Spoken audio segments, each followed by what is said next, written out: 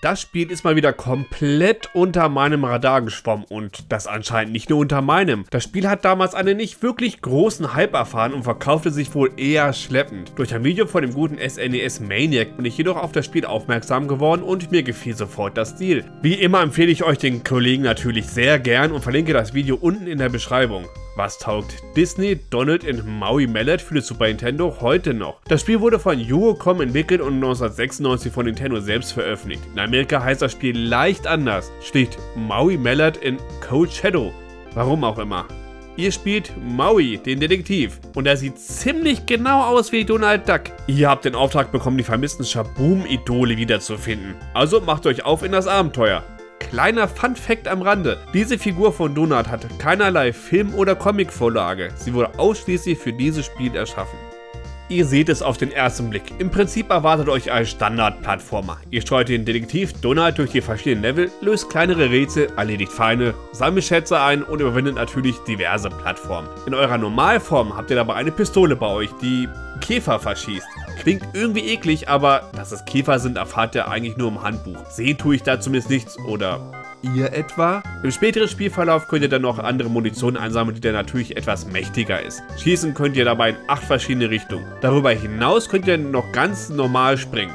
Soweit also so gut. Aber es gibt einen zweiten Modus. Wenn ihr die Yin-Yang-Münze habt, könnt ihr euch in einen Ninja verwandeln.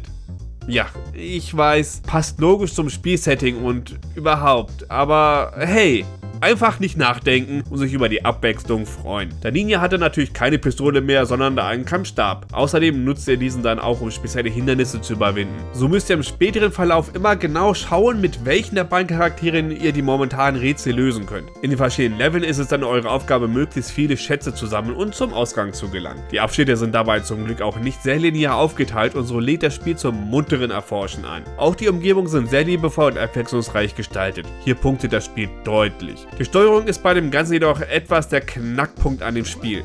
Keine Angst, sie ist jetzt nicht wirklich schlecht, aber auch nicht wirklich gut. Solide würde ich sagen. Manchmal ist es auch schwer zu erkennen, was jetzt eine Plattform ist und was nicht. Da braucht ihr auf jeden Fall etwas mehr Eingewöhnung als nötig ist, aber dann geht das auf jeden Fall. Damit ihr das Spiel nicht an ein Stück durchzocken müsst, gibt es zum Glück ein Passwortsystem. Und ihr wisst, wie sehr ich das immer schätze. Kommen wir nun zur technischen Seite des Spiels. Ihr seht es ja schon die ganze Zeit selbst. Es sieht einfach fantastisch aus. Die Animationen sind sehr liebevoll gestaltet und die Umgebung strotze nur so vor Details. Hier merkt man dem Spiel das späte Erscheinen auf jeden Fall an und es wurde mit sehr viel Liebe so einiges aus dem System herausgeholt. Aber nicht nur grafisch überzeugt das Spiel auf der ganzen Länge, der Sound braucht sich da auch nicht zu verstecken. Das Spiel steht technisch wunderbar da und ist in Würde gealtert. Einfach zeitlos.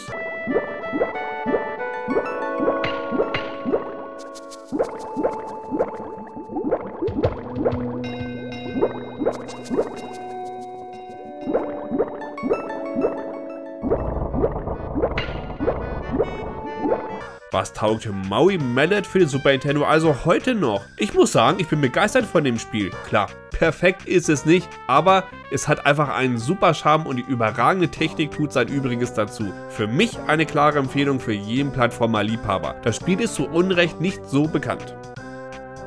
Das war Test zu Maui Mallet für Super Nintendo. Wenn es euch gefallen hat, wisst ihr, was zu tun ist und ansonsten sehen oder hören wir uns beim nächsten Mal. Macht's gut, tschüss.